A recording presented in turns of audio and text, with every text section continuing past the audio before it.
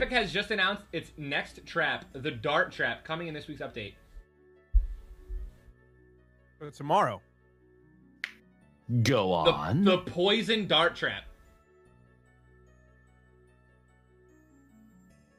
The floor is lava, LTM. You see that too? I'm excited. Every time you touch the lava, you drink.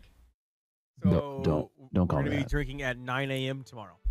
Ch- Ah, If you're a gamer, uh, I, uh, um, yeah.